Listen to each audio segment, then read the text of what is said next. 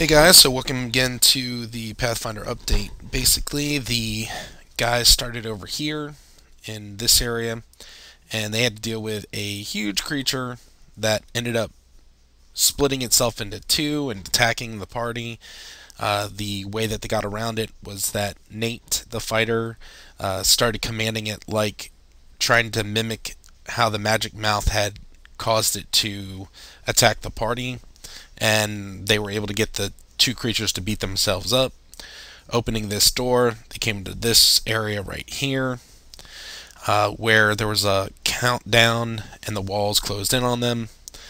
Uh, this was really a lesson on, um, I guess, believing in yourself so that you wouldn't hit the button and start the whole process over again. They got through here. There was these huge mounds of gold.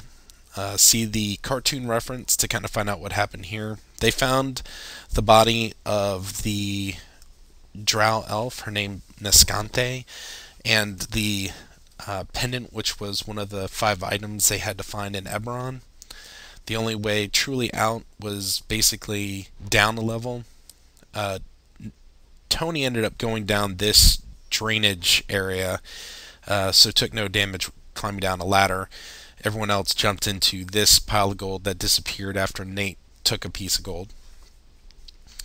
And unfortunately, this brought them down a level where the only way they were going to get back out was dealing with the this rather large rust monster.